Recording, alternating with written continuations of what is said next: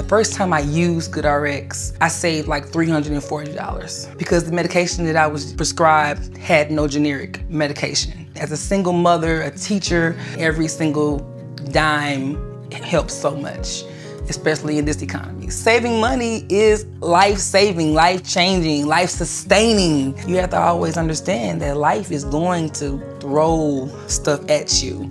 And so, especially with your health. The last thing you want to do is spend whatever money you do have on your medication. GoodRx allows you to, to be able to use your money in different ways other than just paying for meds all the time. It's quick, it's seamless, it's easy, it's functional, and um, it's user-friendly. It's free. Just try it.